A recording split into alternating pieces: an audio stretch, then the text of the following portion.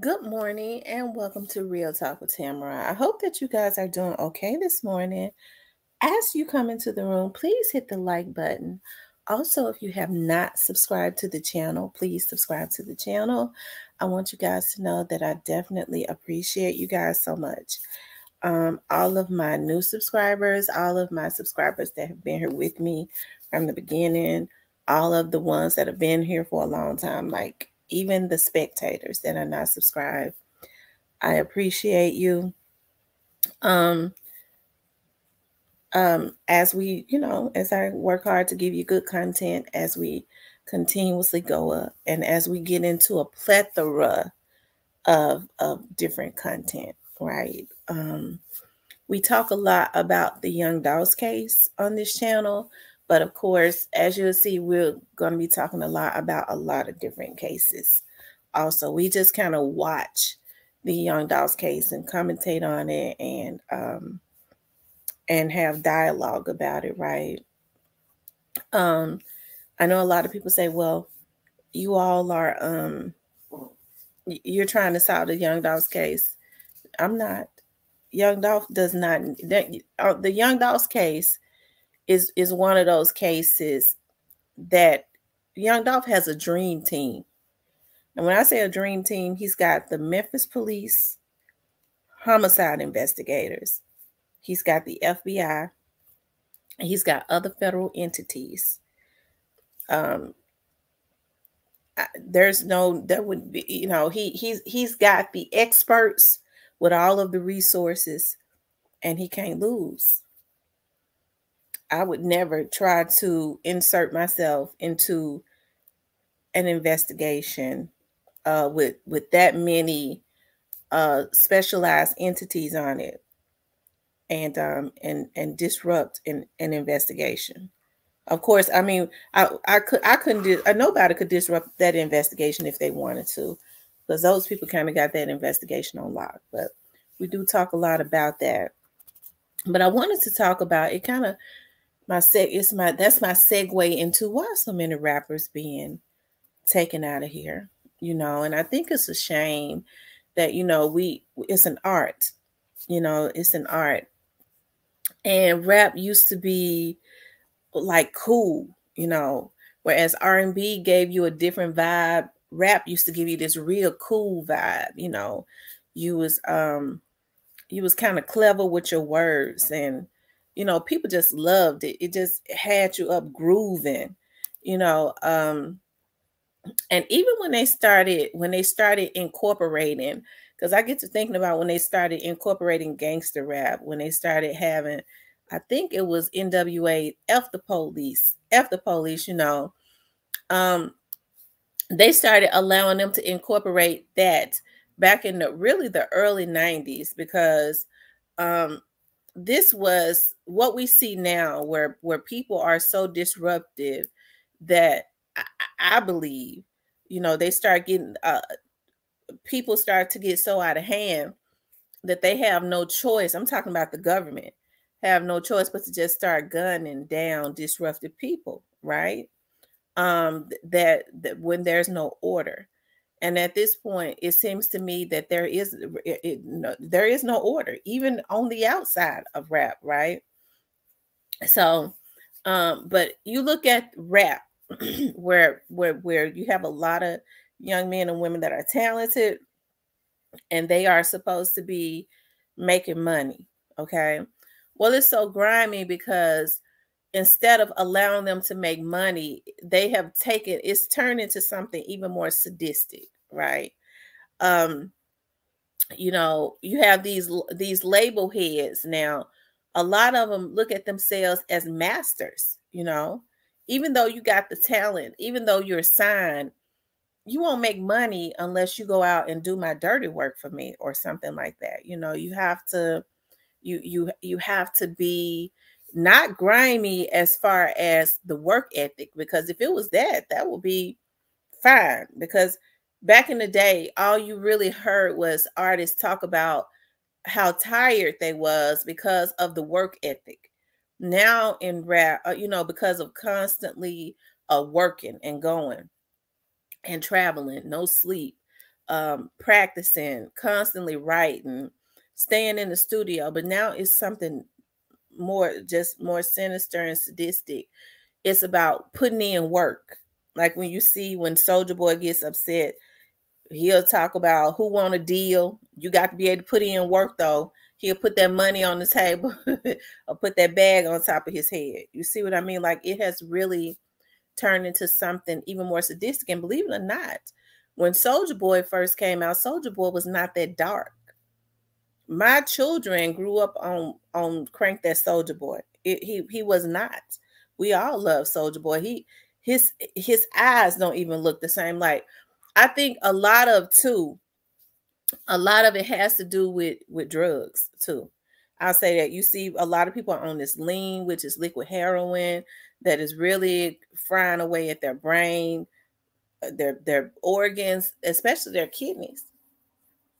Um, uh, they just flat out on all kinds of meth, crack, coke, anything, anything that they can snout, as they say, or smoke.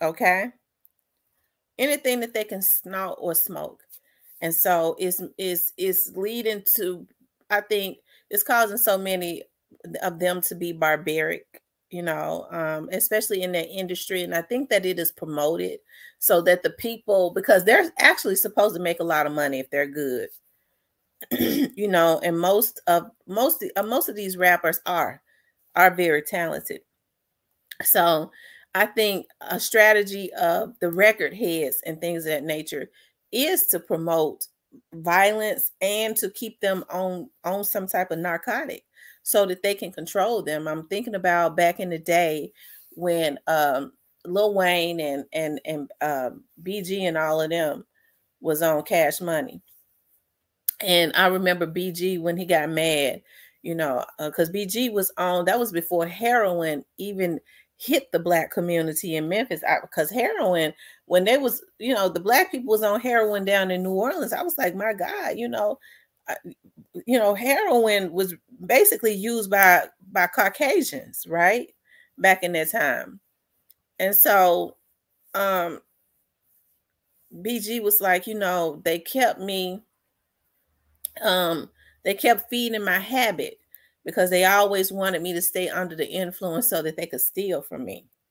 You know, um he thought getting a hundred, two hundred, three hundred thousand dollars from time to time was good. Number one, because he was on drugs. And number two is because it was more money than he had ever had. Okay. Um, they was kind of vocal about it. I'm glad, you know, because you know, now record heads feel like record labels feel like if you start talking, then you know it's time to be whacked. Baby, I have to give it to him. He didn't whack him.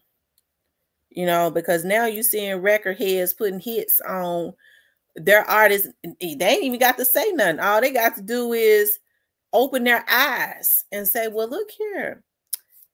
Can we renegotiate that contract when my contract ends? That's if it ever ends. Some of these folks letting these folks put them in lifelong contracts with astronomical insurance, and you worth more dead than alive. And that is going on. Okay. But if they open their eyes, okay, that nigga right there a problem. Okay. If they think they're gonna go somewhere else and make some money or start their own thing, uh, I'll get the insurance money off of them. Damn, it's a human and they got a family and you know they want to be all they can be, just like these other record labels and heads want to be all they can be. We're just gonna take them out. And then too, they're they're signing gang members because they want to promote beef.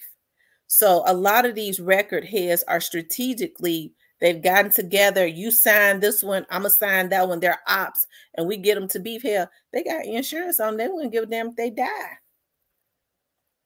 If it end in death, you know, you get your insurance. Um, the other one, you know, we we we, you know, the other one goes to jail. Hell, the other record company owns all of his masters and stuff he's to get just as much because for some reason the mindset of human beings they like garbage they like junk and then i'm talking about just regular old people that claim, you know, that they want peace, but they like a lot of chaotic garbage. And so when whenever there's chaos and beef, instead of not entertaining it and saying we're not gonna, if it's got to be like that, that's too dark, that's too sadistic. They run straight to it and wonder why they life upside down. They're on all kinds of meds, mental meds, because they like chaos. They like darkness. Whereas if we didn't entertain that, the record industry would be forced to put out a different type of music but as long as you're allowing your children to stream this stuff, and some of these, you know, you listen to some of these kids, yeah, I'm gonna murder you, yeah, I'm gonna break into your house and and and rape your mama and, and your little baby. Instead of the mama saying, What the hell you listening to other dad, man? Turn that off, man. You look at them, they head bopping too, all in the car to car bouncing. Just what do these kids have to look up to? Just pathetic. Okay. Yeah, I'm raping mamas. And they put that into the atmosphere. I remember a time you couldn't even talk about rape on no music. You couldn't put that into the atmosphere. Now it is put into the atmosphere. And, and because a lot of the, the younger generation is misguided and lost, they think that that's okay and what the what the record industry is doing they wouldn't give a damn even some of them black ones that they have given the illusion of that they have um, power because they don't. They just use them to escort this stuff into the black community. And it's a damn shame before God that regardless to what hood you came out of, you heard a lot of these rappers that that they have given the illusion of power, like Jay-Z and Puffy and all of them, talk about where they came from. And you know, it was less than good conditions. It was actually terrible and then you could rise with the help of the black community and then uh, do what they are doing right? And then do what they're doing which is sending um uh, you the people in the back rooms because jay-z and them are, are financed by somebody. They make y'all think that they got the power but they actually are being controlled. So the people that we don't see that don't look like us is actually the ones that's putting the bug in their ear and they send it down and they are so money hungry and power they want the illusion of power you know um they don't have an issue with what what, what they do. As far as uh, telling these uh, young men that get into rap you need to go do hits you need to uh, you need to beef and strategically um, getting with different record labels and saying I'm gonna sign this and use I'm gonna sign the op and we get them to beef and that's how you know, we're gonna run it up, you know, as they say. And then it always ends up somebody always end up being taken out or and, and the other one put in jail for life. So, you know, I I I that's that's that's one of that's a couple of the reasons. It's a lot of other reasons. Okay, it's a lot of other reasons, but those are a few of them. And I think that, you know, that it's just it's sad because we're we're losing so many uh, uh African American men and women before they even reach the age of 25, let alone 30. Before they ever even reach the age of 25. So, you know, I just I think that is sad. I, I do. But those are a few of the reasons. And this is my segue into a Lotta Cash Desto. You know, I, I haven't said a lot about a Lotta Cash Desto. I didn't I didn't know a lot about her music. You know, I, I actually got up and I listened to some of it the other day, and I um I was listening to some this morning. I was looking at her interview, and she seemed to be a, a laid back uh, young lady. You know, um, I I think that it is a shame uh, that she lost her life. I don't know what is going on when children, and I look at her as a child. Okay, because I'm in my early 40s going in, into my mid 40s. Okay. So I look at her as a, a child. Um, I, I I have a daughter that's a year younger than her. Okay. And it is very disturbing to see um, not only that they don't care about taking out the young men, they're also killing women you know, this was a young woman. And I normally don't like speaking on on children um and young young adults because like i said i consider them children when they lose their lives in such a heinous way but I, I just i think that it's sad on on so many levels i think i found something that i kind of want to show as it relates to a Lotta Cash Desto um i think this is it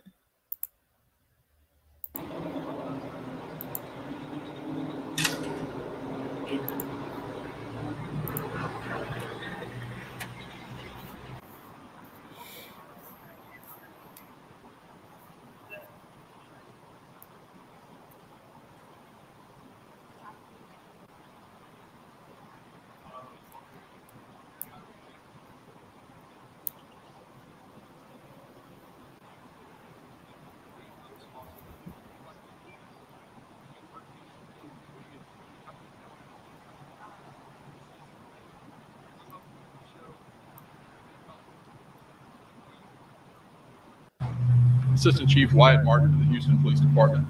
Uh, at approximately 2:39 a.m. this morning, uh, officers received a call regarding a shooting in the 5500 block of Richmond Avenue. Approximately two minutes later, when officers arrived on the scene, they located a vehicle stopped facing westbound in the 5500 block with two occupants, both females who had been struck by gunfire. Uh, one of those females was transported to the hospital with apparent non-life-threatening injuries. The other, unfortunately, had scum her wounds and was deceased at the scene. Uh, third victim was located and identified during the incident. He was struck by gunfire. At this time, we do not have any suspects. Uh, we do not have any restricted suspects. There are several witnesses who are being talked to about homicide, but additional information we hope will come forward as this incident goes on. Uh, we would ask the public if you know anything about what happened out here, about this incident, the suspects, or have any additional information, please contact Houston Police Department Homicide Division. You describe the vehicle, are there gunshot holes in windows, sides, or part of the vehicle? Yes, the vehicle was struck multiple times by gunfire, uh, and the driver was struck at least once and was deceased. The passenger was transported to the hospital. Was this from the back of the vehicle or the side of the vehicle? Appears it was shot from both directions. Uh, So this could be a road rage, or we just don't know? We don't have any information about motive at this time. It could be road rage, could have been robbery. Uh, we just don't know it. We don't have enough information at this time to make a determination. Okay. So now we're learning that it was it was a robbery. I, I do believe they're saying that it was a robbery. Um, it's unfortunate that that happened. Um, you know, there were also reports that she may have gotten some shots off. You know, I don't I don't know because just listening to him, he was saying that there were shots coming from both ways. Um, they shot into the car, you know. Um, so I I want to say, you know, rest in rest in peace to her. You know, my condolences to her family. You know, because she was a a young. You know, I was looking at a her um her picture, her her picture when she was a little girl. She was a cute little baby, you know. Um, I didn't know her, like I said, I didn't know her. Um, I know um, I'm hearing she was from around the Orange Mound area. I'm very, you know, familiar with the Orange Mound area, of course. So it's sad. But, anyways, they were saying that she was laid to rest. And I know that's not an easy thing, but, you know, now we're taking women out, you know, just um, barbaric. Um, even if it was a robbery, you want to take our stuff? We killing people for their things. Okay. And I know that was when it first happened. That was the night that it happened. They were still trying to collect information, it was still developing. And I think more has come out now. Like I said, I heard somebody say that it was a robbery. And allegedly, she may have gotten some shots back off. You know, I, I don't, I don't know. I would have to look into that more. But at any rate, it is, it is, is a tragedy. It is a tragedy um, that, especially so many rappers, it's like there is it's something going on, you know, because I, I, get to thinking about PNB Rock. That you know, It's like if you see them shining, take them out, rob them and take them out. I cannot get past that PNB Rock situation where the father and the son walked into a public place with people in there and robbed, tried to rob and kill that young man. You know, um, all of this extortion. You got to check in. Hell, that's extortion. I've been saying that. You know, and so if you don't check in, that's a problem. Uh they'll say it's disrespect. No you you you need to pay us. You can't be in in other words you can't be in my city without paying me as if you own the damn city. Okay? And so you know whatever is going on as far as underground with the government as it relates to some of these record heads some of these these rappers and these gangs um, because they are the ones that are uh, actively destroying um, our communities. I can't wait until there is something to bust it up, probably a RICO or something, you know, um, because it's a damn shame that you can't be great. Everybody want a piece of what you work hard for. I once heard somebody say, as hard as you work, I believe it was Dr. Dre for your money, there's always somebody working just as hard to try and take it from you. And he wasn't lying when they could put that energy into trying to build something for themselves. But that is the energy that is put into the atmosphere. If I if you got it, I'm gonna take it from you. That's the energy that's being spoken out into the atmosphere as it relates to a lot of this drill music. And because a lot of these people, these, these people, and some of these old crusty niggas too, I can't put it on all the younger people because you got a lot of old, crusty Negroes in their 40s and 50s and stuff. They just as ignorant. They don't even have to control themselves. They pathetic. So what do what kind of examples do these kids, these younger kids have to look up to? Okay, they saying hell, I, I I'm looking at this old crazy MF, stupid ignorant as long as I ain't acting as bad as him, I'll be bad. I just won't be crazy bad. Because there is a lot of mental illness, whatever crack, kind of crack a lot of these people on it, whatever they're they kind of drugs that is out there is is messing with them. When they do get off of it, they have mental illnesses and they don't even know it. But y'all, you know, I just I wanted to talk about that why so many um rappers are being taken out. It is because to sum it all up, it is engineered. This is what they want. You heard what Minister Farrakhan said back in when then they took him off, they banned him from national TV because they didn't want him putting that into the atmosphere. These record, the, the private prisons met with these record execs. And they get these cuckabug heads that they give the illusion of power because they ain't got no power. They being financed by a lot of these billionaire record companies who also get funding from these billionaires that's building these private prisons. They work together and they get black people and put black faces in front of us to make us think or them think that they got power and tell the kids this is who you want to be or look up to. Okay. And they kind of bamboozle uh, the black community, those who don't know any better, and to thinking this is success and this is what you got to do. You got to rob, steal, and kill so that the private prisons can be filled up and the record execs can get insurance policies. Okay, that's what's going on, and it's and it's sad. Okay, but anyways, you guys, I'm gonna get off of here. Um, I'm gonna chill out at home today because I've been working a lot. So I'm gonna take me a day. So I pro- I'll be putting up more videos, but I want you guys to like, share, and subscribe. Okay, I'll talk with you later.